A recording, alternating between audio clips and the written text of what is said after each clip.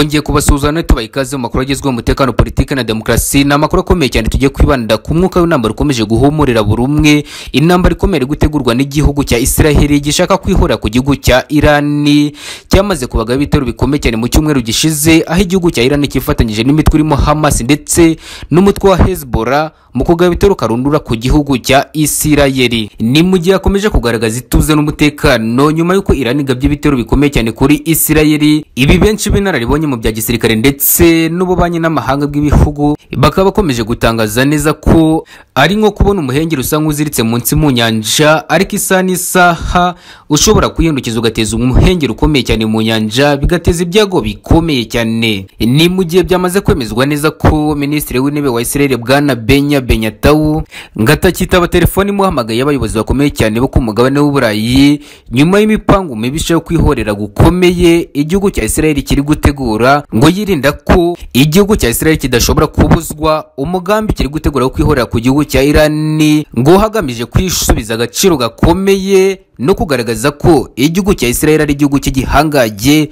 ku mugabane w'uburayi ndetse no ku isi hose muri rusange. Twongeye kubaha ikaze mu makuru ku buryo burambuye aho tugiye kuvumbuza n'umuzingo w'aya makuru turebe ukuntu ibintu byifashe cyane cyane uyu muhengeri usa nk'aho uzitse mu nyanja. Ituje ariko isa nk'aho iteze kuzikuka. Tubahaye ikaze.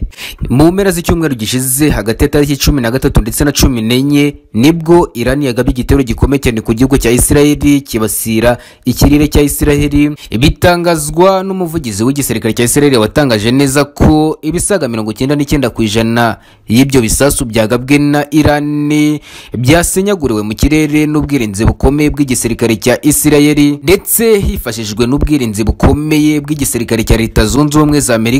Isanzwe ikorana bya hafi n'igihugu cya isirayeli mu bijyanye n'imitwererane mu rwego rwa gisirikare politike ndetse na byinshi bahuriyeho ku mubano ukomeye cyane hagati ya leta zunze ubumwe za amerika ndetse n'igihugu cya isirayeli ni ibitero bikomeye byo kwihorera ndetse n'umujinya ukomeye wari ufitwe n'igihugu cya irani cyagabanya ibitero by'umujinya mu gutanga agasopo ikomeye ku gihugu cya isirayeli ni inziga ikomeye n'urwango rukomeye rwabibwe hagati ya irani ndetse n'igihugu cya isirayeli nyuma y'uko igihugu cya isiraheli gishinjije irani gufasha imitwe yitwaje intwaro ndetse yitwara nka gisirikare nk'umutwe wa hamasi rezibona ndetse n'indi mitwe ikunda ngo guhungabanya umutekano wa isirayeli bizwiho n'intambara ikomeye ku kibuga cy'imirwano muri gaza ndetse no muri libani aho igisirikare cya isirayeli cyarahiriye kwirukana burundu no gutsinda iyi mitwe muri iyi mijyi itandukanye n'ibindi bice byinshi. Zaba zibarizwamo ngo muri biriya bihugu by'abarabu ngo iyi mitwe ikunda kwishamo ikorana na za guverinoma zitandukanye. Ibibazo bikomeye byabaye agatereranzamba hagati ya isirayeli na irani igihe isirayeli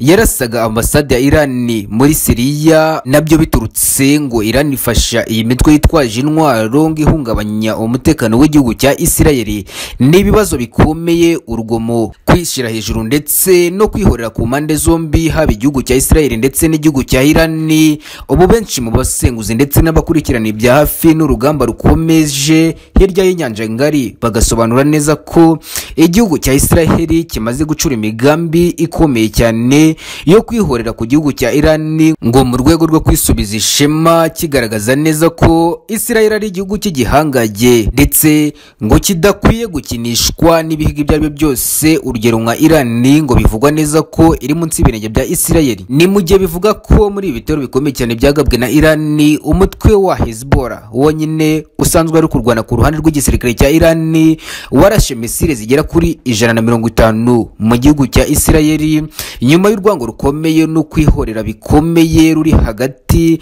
y'umutwe wa hezbollah umutwe wa hamas ndetse n'umutwe wa hawutisi ngiyi mitwe yose ikomeza guhigwa bikomeye n'igihugu cya isirayeli. Ngo cyayitangije intambara ku buryo bweruye. Ku itariki ya cumi na gatanu z'ukwezi kwa kane isirayeli yagabye igitero gikomeye yifashe indege za gisirikare. Zitagira abadereve irasa misile zikomeye cyane kuri mese iri jabari ndetse na tiya harfa mu majyepfo ya liberu ni ibitero bikomeye byo kwihimura bikomeye ku ngabo z'umutwe wa hezbollah zari zimaze igihe kinini zigabye ibitero ku birindiro by'ingabo za isirayeli biri mu gace ka goromo ngo byasize birimbuye burundu ibi birindiro ndetse n'inkambi zikambitsemo ingabo za isirayeli muri aka gace kabarizwa mu majyepfo ya isirayeli. Ku itariki ya karindwi z'ukwezi kwa cumi bibiri na makumyabiri na gatatu ni bwo igitero cya mbere cya isiraheli cyasojwe byeruye ku ngabo z'umutwe wa hamasi ndetse n'indi mitwe yitwaje intwaro ngicumbikiwe muri ibi bihugu bikomeye by'abisilamu ngishinzwe kwigomeka ngo kuri ubwoko bw'imana ngo bw'abisirayeli ngo ndetse ngo bwahuye n'ibibazo bikomeye bibaha kwirinda ndetse no kwikiza umwanzi mu ntera ndende. Majoro generali yakuve amilton wahoze mu gisirikare cya isirayeli ndetse akaba n'umujyanama ukomeye cyane mu by'urugamba. Igisirikare cya isirayeli kirwana yatangarije ubutegetsi bwa isirayeli ko bugomba kwihorera vuba bukagaba igitero gikomeye cyane kuri irani cyangwa se bugafata umujyi wa hafa ubarizwa muri gaza ngo hagamije kwihorera bikomeye ndetse no kwigarurira icyizere bambiwe n'iz'iki gihugu cya irani cyabagabyeho ibitero bikomeye ngo kikabanduriza isura y'igikomerezwa ribanitse mu isi yose. Brigade generali jacques bunakweru ni umwarimu muri kaminuza mu bijyanye n'intambara mu gisirikare cya isiraheli yagaragaje uburyo butatu igisirikare cya isiraheli ndetse n'igihugu cya isiraheli muri rusange bagomba kwihorera bikomeye cyane ku gihugu cya irani ngo cyabandurije isura ndetse ngo kikabatera igisebo gikomeye mu miryango mpuzamahanga ndetse n'ibindi bihugu bikomeye cyane ku mugabane w'uburayi muri ubwo buryo butatu yaragize ati dukeneye kugaba ibitero bikomeye ndetse bikaze cyane ku bikorwa remezo bya irani byakoresheje ubwo bagabaga ibitero ku gihugu cyacu cya isirayeli ndetse tugasenya inganda zose za droni cyo kimwe n'aho zikorerwa. Twarangiza ubundi tukagaba ibitero bikomeye ku bikorwa remezo bya irani bidafite ahantu bihuriye n'ibitero batugabyeho. Ariko nanone tugomba kugaragaza yuko dufite ubushobozi bwo kugaba ibitero no ku bindi bikorwa remezo nk'ibitunganya gaze ibitoro ndetse n'inganda zikora intwaro za kirimbuzi cyo kimwe no kurimbura inzego za guverinoma ya irani mu kiganiro gikomeye cyane burigade yusi perawusi yagiranye n'igitangazamakuru gikomeye cyane kizwi nka yerusalemu posti kibazwa mu gihugu cya israel yatangaje ko amakosa ya mbere igihugu cya israel cyakoze ni uko cyihanganiye igitoro gikomeye cyane cyagabwe na irani kigaceceka kigapfira mu mutima ngo kandi gifite ubushobozi bwo kwihora no kurimbura burundu igihugu cya irani na bwana yakoveni peri wahoze ayobora sheni beriti yatangaje ko igihugu cya israel kigomba kwihorera bikomeye ku gihugu cya irani kikisubiza icyubahiro gisanzwe gifite nk'igihugu gihangaye mu isi ndetse kigatsindira burundu ibitero bishobora kugabwa n'igihugu cya irani ubugira kabiri gishaka kongera guteza umutekano muke n'igisebo gikomeye ku gihugu cya isirayeli ibyongeye kandi majoro generali muhammed bagaru umugaba mukuru w'igisirikare cya irani yamaze kugaragaza neza ko igihugu cya irani atari agafu k'imvugo rimwe mu isi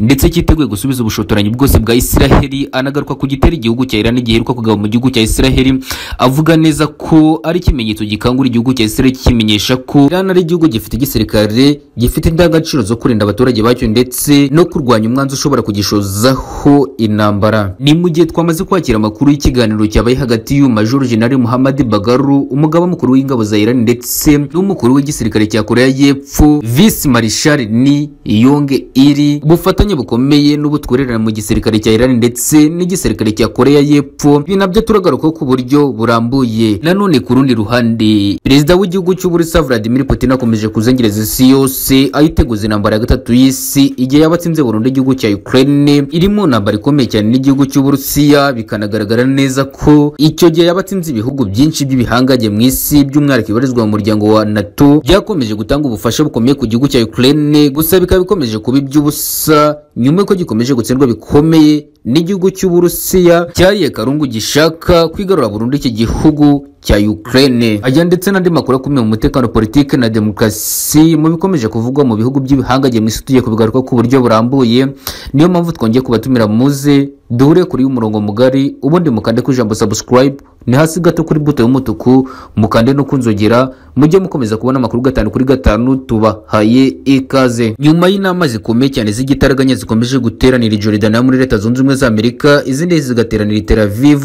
mu gihugu cya Israel higwa neza uburyo igihugu cya Israel gishobora kwihorera ku gihugu cya Iran cyabagabyeho ibitero bikomeye. Ni ibitero byarengaga magana atatu mirongo itatu gatatu yigabanyije mu moko agera muri atatu nka ballistic missile izwiho kugenda ibirometero byinshi mu gihe gito nk'aho kuva mu gihugu cya Iran igera mu gihugu cya Israel akoresha igihe kitarenze iminota itanu gusa kazamo n'ubundi bwoko bukomeye buzwi nka cruiser missile ndetse na drone karabutaka zizwi nka shahadi ijana na mirongo itatu na gatandatu. Ibi bikaba ari ibitero bikomeye cyane byatunguye isi bikanatera ubwoba igihugu cya Israel byakoreshejwe n'igihugu cya Iran ngo cyatangaga isomo rikomeye ndetse no gukangura igihugu cya Israel kigaragaza neza ko igihugu cya Iran gifite ubushobozi bwo gusubiza ubushotoranyi ubwo ari bwose ndetse no kurwana intambara gishobora gushozwaho n'igihugu cya Israel nk'uko byatangajwe n'umugaba mukuru w'igisirikare cya Iran Majoro General Mohammed Bagaru ikiganiro yagiranye n'ibitangazamakuru mpuzamahanga bikorera mu gihugu cya Iran amenyesha neza ndetse anatanga gasopu ikomeye cyane ngo ku migambi mibisha iri gutegurwa n'igihugu cya Israel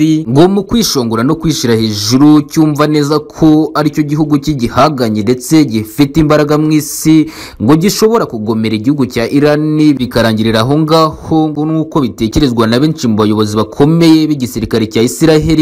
ndetse n'ubuyobozi buri ku butegetsi mu gihugu cya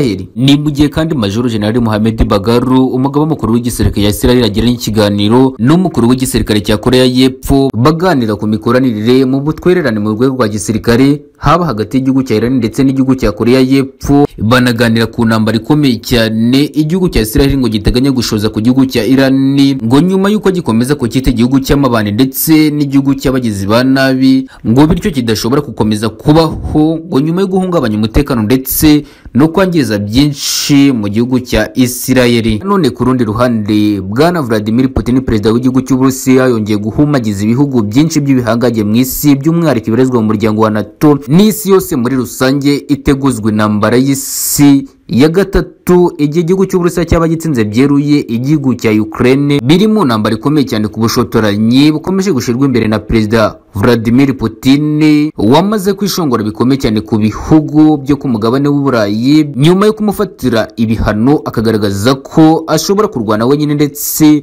afite imbaraga zo gutsinda igihugu cya Ukraine no kwigarura byinshi mu bice by'iki gihugu.